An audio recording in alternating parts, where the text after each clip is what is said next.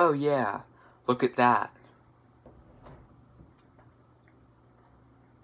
Yep, it's a restaurant. Oh, you see a clue.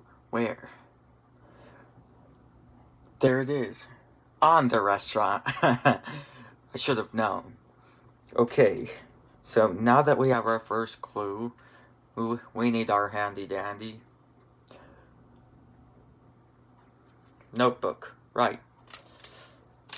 So, a restaurant.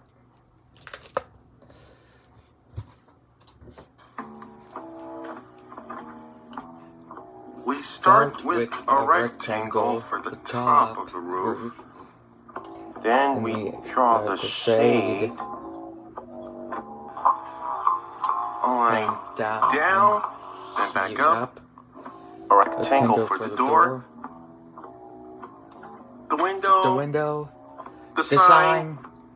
The The doorknob. Now we write the word restaurant. And there. There, we. A restaurant. So, we're trying to figure out what I should do with Abby and her boyfriend. And our first clue is a restaurant. So, what should I do with Abby and her boyfriend with the restaurant? Maybe, but we need to find two more clues just to be sure.